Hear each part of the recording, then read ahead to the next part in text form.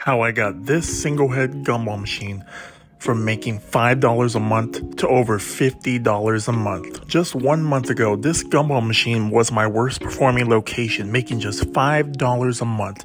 However, this month it clocked in at $51.25. All I did was move this gumball machine from its old location into this new location, a kid's barbershop. Since the foot traffic is almost entirely kids, this location has been a powerhouse.